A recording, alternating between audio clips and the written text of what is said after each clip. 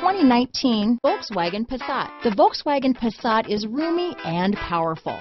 It is a supple and controlled ride with a quiet and comfortable ride.